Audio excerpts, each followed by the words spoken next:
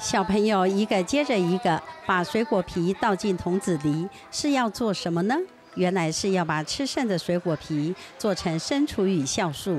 台东县一百零一年度的厨余回收量有六千七百公吨，其中熟厨余卖售到屏东县养猪户作为饲料之外，其余的生厨余则可以做成生厨余酵素。而生厨余酵素可以说是浑身是宝，在农用部分可作为土壤的养分，也可抑制病虫害的发生；而在家里也能作为清洁用品之用，除了减少化学制品的使用，也能减少垃圾量。经济又环保，响应这样的一个环保自然的活动啊，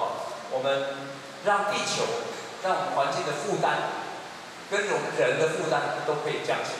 降低一些啊。台东达人乡深永部落有一片乌乌有机野菜园，这一甲多的土地上种植了四十多种的有机野菜。负责人林章宪文表示，制作生厨与酵素不但减少了许多成本，也让自己更认识这块土地。呃，环保局会把我们的酵素的呃所含有的养分成分来去做分析，比如说土壤的氮磷钾。好，这个三要素，他们同样也会去做分析，让你知道说，呃，你做的这个酵素它拥有什么样的成分，对植物植栽有什么样的好处。如果说有种农作的，也可以把厨余弄去做有机的肥料。那所以有亲戚在做有机的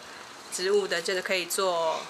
肥料。为了响应节能减碳活动，台东县政府在推动厨余酵素化的工作，希望大家随手动一动，环境负担自然轻。记者福鲁台东市采访报道。